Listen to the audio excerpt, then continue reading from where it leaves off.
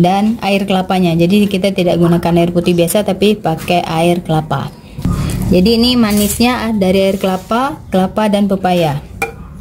Kalau yang pemula minum pare, mungkin ini bisa dikombinasikan untuk minum smoothie.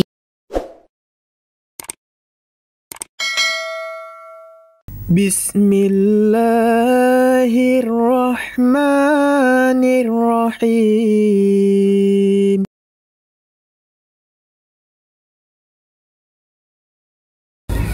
Assalamualaikum pejuang sehat di mana pun berada. Selamat datang kembali di channel youtube Real Food Corner. Masih dengan saya Rita. Kali ini saya mau buat smoothie Kelapa muda, pare dan uh, Sesuatu yang bisa berwarna kuning. Tonton sampai selesai ya videonya.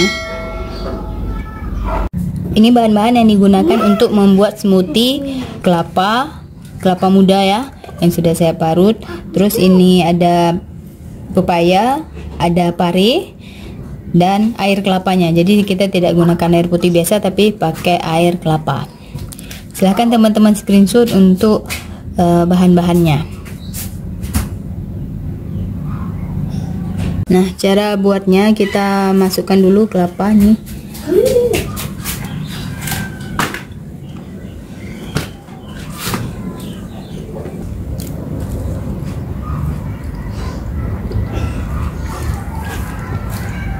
ini pepaya.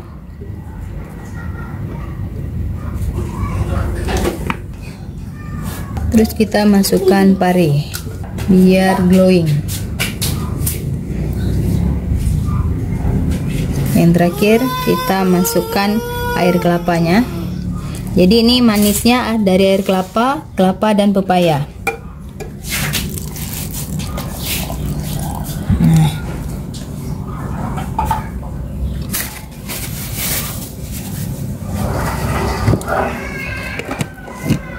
sekarang kita blender.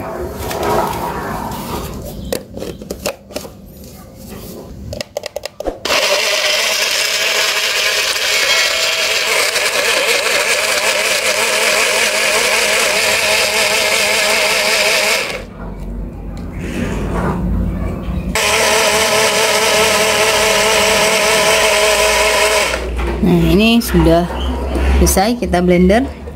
Sekarang kita masukkan ke gelas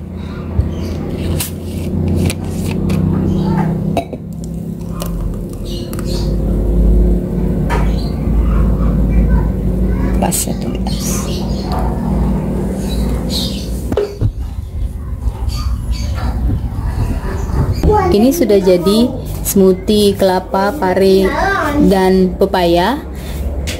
Nah jadi warna kuning seperti ini. Jadi pemanisnya ada kelapa dan pepaya. Saya mau coba rasa dulu seperti apa rasanya. Bismillahirrahmanirrahim rasanya ini manis karena tadi kan airnya air kelapa terus kelapa juga dan pepaya. Jadi uh, banyak yang menyumbang rasa manis daripada rasa pahitnya si pari. Jadi kalau yang pemula minum pari mungkin ini bisa dikombinasikan untuk minum smoothie ya. Kalau yang kemarin saya sudah pernah buat itu jus. Jadi airnya saja. Kalau ini ada ampasnya. Jadi perpaduannya dengan yang manis Nanti silakan teman-teman kreasikan di rumah lagi dengan buah-buah yang manis lainnya. Terima kasih telah menonton video kali ini. Jangan lupa like, komen, dan share ke pejuang sehat yang lainnya. Assalamualaikum warahmatullahi wabarakatuh.